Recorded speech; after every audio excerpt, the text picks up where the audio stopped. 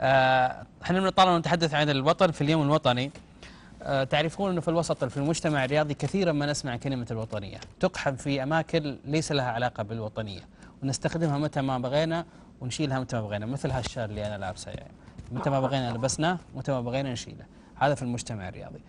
نتكلم عن الموضوع في هذا التقرير.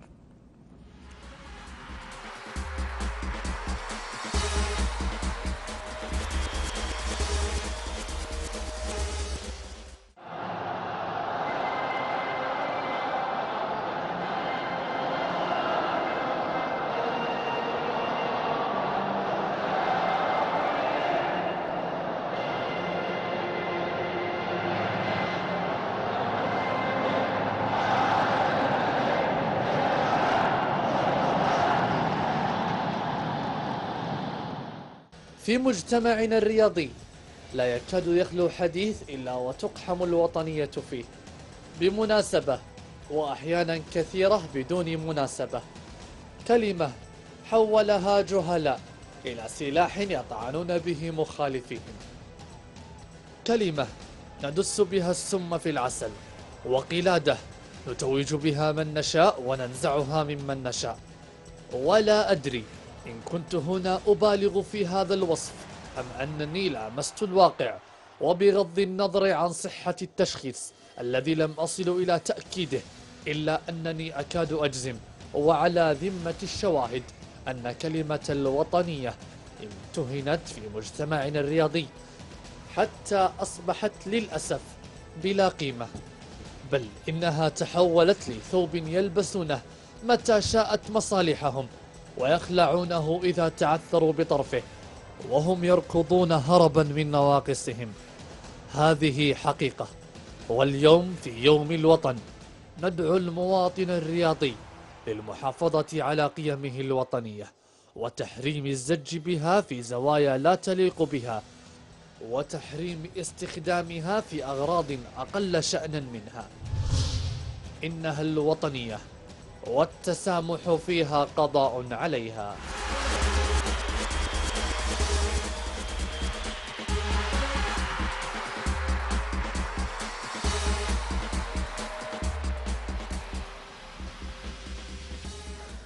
بالتأكيد الوطنية التسامح فيها قضاء عليها وهل نبالغ في هذا الحديث أبو أحمد عندما نقول أننا نتساهل في يعني زج كلمة الوطنية؟ وهذه المفردة في أحاديث رياضية كثيرة نعطيها اللي نبغاه ونشيلها من اللي يبغى نحطها في المناسبة اللي نبغاها ونشيلها من المناسبة اللي ما نبغاها. هل نبالغ في هذا ولا فعلا هو واقع برأيك؟ دعني أربط بين ما تكلمنا فيه سابقا وبين ما هو آتي بمقدمة بسيطة. نعم. أنه آه إلى وقت قريب ما كان عندنا ما يسمى آه احتفالات اليوم الوطني.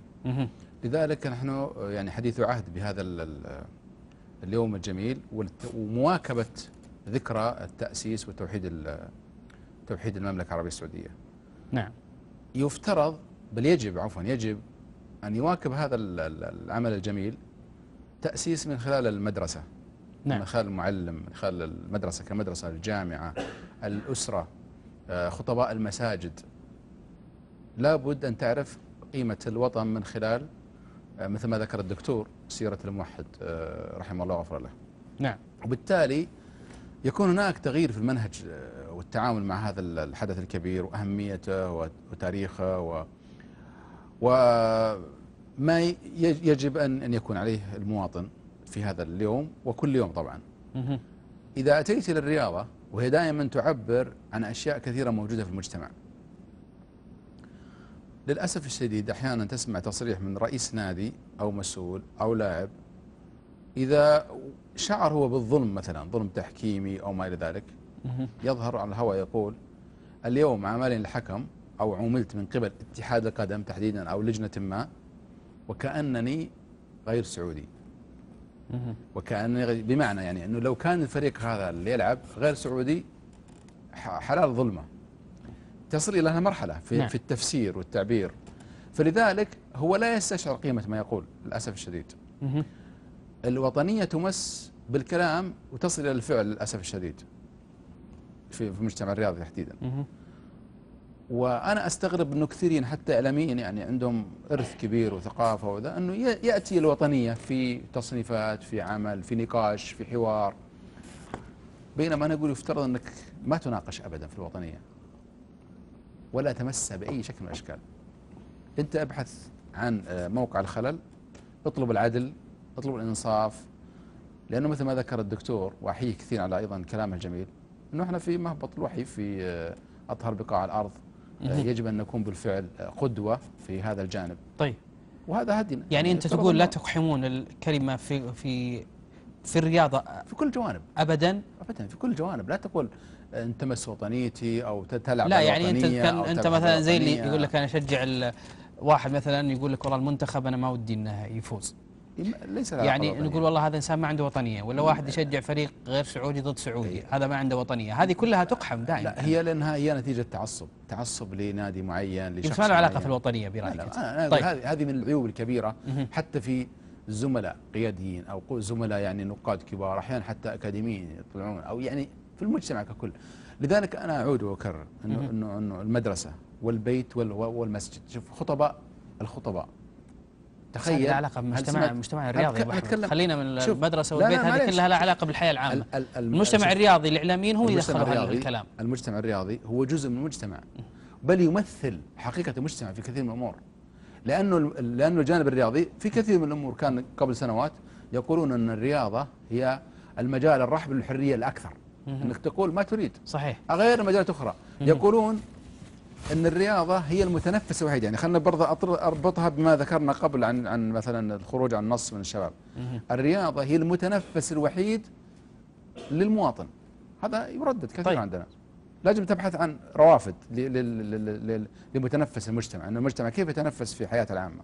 كيف يجد مجال رحب لإظهار حياته الخاصة للتعبير عن أشياء في قوام يخرج عن الإطار المألوف عن الروتين وما إلى ذلك؟ طيب. لابد من روافد أخرى. لكن الرياضة دائما تلبس ثوب ليس لها وأحيانا تقحم وهي في الأخ أنا أقول في الأخير تجسد الكثير مما يحدث في المجتمع. طيب خليني أسأل ابو أبو دكتور آه، هل تتفق مع أبو أحمد بأنه من المفترض الا تقحم؟ الوطنية في نقاشنا وحواراتنا الرياضية وأن توضع في مكان آه، نقول في التقرير يقال بأن الكلمة الوطنية ابتذلت في الوسط ال- في المجتمع الرياضي.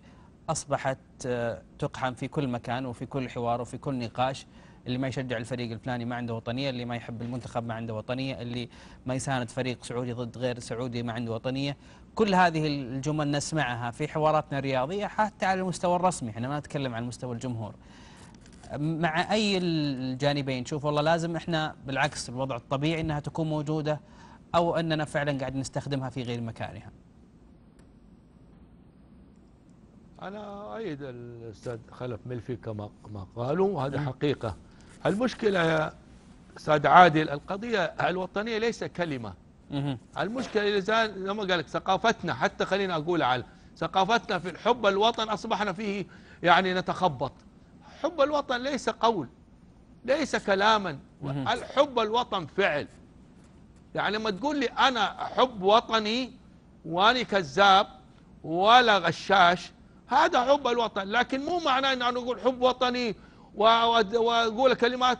وأجي في الليل الساعة 2 وما في بوليس والإشارة حمراء أقطع الإشارة. يا سيدي الفاضل هذه هي الوطنية. عارف ليه؟ لأنك أنت ما احترمت المسؤولين عنك. ما احترمت وزارة الداخلية اللي حطت لك في المر إشارة حمراء. أنت لو كنت في أمريكا والله لا تستطيع أن تقطعها. وفي السعودية تقطعها. أي وطنية دي؟ هنا الوطنية. أما أقحم. عشان فلان قال ما شجع الفريق. أو ما أبغى ألعب في المنتخب حتى ياسر قحطاني بالعامة أقول لك إيه لما قال فين الوطنية؟ يا جماعة لاعب يقول أنا إمكانياتي نفسيتي. خلاص نخليه تجردناه من الوطنية؟ أو أنت قلت والله النادي الفلاني جردتك من الوطنية؟ إذا الوطنية لا مؤاخذة أقول مبتذلة لهذه. لهذا الوضع ما هي وطنية؟ أصبحت ليس بوطنية ولكن علك علك في, في, في الأفواه عشان يتجنى على الآخر. الوطنية عمل وليس قول. طيب. عمل في أمانتك في عملك كيف تعطي عملك صح في آه، محافظتك على ولد بلدك.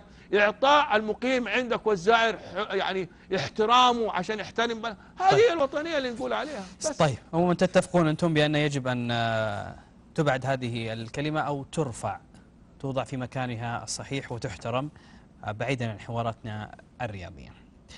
عموما آه، حديث بالتأكيد على الوطن لا ينتهي ولكن هذا الجزء خصصناه للحديث عن كل ما يخص يوم الوطن. وب- وبعد الفاصل بتقفل. تفضلي. يعني مثلا حديث الأمير نواف فيصل الأخير اللي في روتانا مع الأخ عبد تركي العجمة. تركي العجمة. أشار إلى انه الملك حفظه الله أمر يعني قص حط بين قوسين أمر بحل مشاكل الرياضة وأن يجتمع الأمير نواف فيصل مع وزير المالية نعم. وحل المعوقات والمشاكل. حلو. لا مجال للنقاش لا مجال للإعذار لا مجال لا مجال. يسبق اليوم الوطني ب- بفترة بسيطة جدا يتزامن معها. دائما عودنا الملك إنه يدعم ويح- ويحقق أمنيات ويحرص ويتابع عنده الإخلاص وعنده ال- ال- الهم الوطني عنده الهم ال- الأباء و- وبناته في الو- الوطن. بس سألتك المس- أبو أحمد في البداية عن الرئاسة العامة لرعايه الشباب. قلت لك إنه اللي يحدث الآن في الشوارع ليست الرئاسة مسؤولة عن بطريق غير مباشر أنها لا. ما وفرت يعني أي وسائل للترويج بس أنا قلت وصل لمرحلة أنهم يعني مكبوتين يبغى يعبر عن شعوره. عادل يجب أن تك... هناك دائما مثل الأمور هذه اللي خارجه عن نطاقها يجب أن ترتب مع الجهات الأخرى. لكن بس أستكمل جزئية بسيطة. نعم. أنت تذكر لما صارت ال... ال- ال- المكرمة الملكية وأعطى الأندية ماذا صار- صارت ردة الفعل؟ الكل انتعش صحيح. الكل تغير حاله. الرياضة بحاجة إلى فكر ومال في نفس الوقت. هذا هذا مطلوب. الآن الأمين نواف نقولها ب- بامانه يعني الأمين نواف من خلال هذا الحوار ومن خلال البيانات الأخيرة من خلال القرارات الأخيرة يرسم لمستقبل كبير. ونحن تشعر بأن الفكر موجود حاليا. ونحن الفكر نعم وحتى المال الآن من خلال من خلال أمر شوف أمر الملك.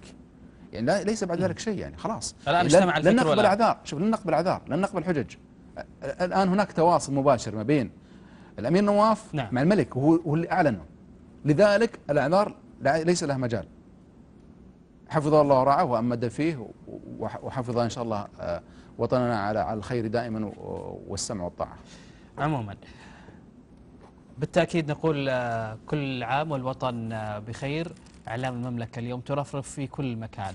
كما يقول الدكتور وكما يقول ضيفي الوطن أو حب الوطن ليس بالكلام ولكن بالأفعال.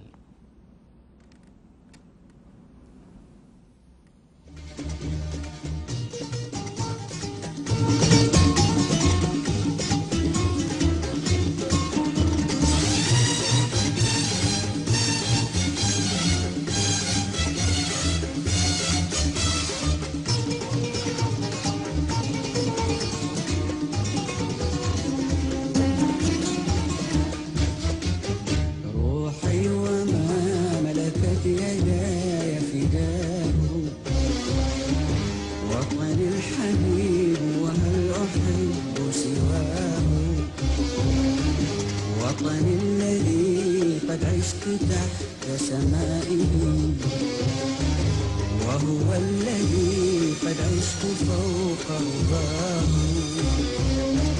منذ الطفولة قد عشقت رضوعه إني أحب سهوله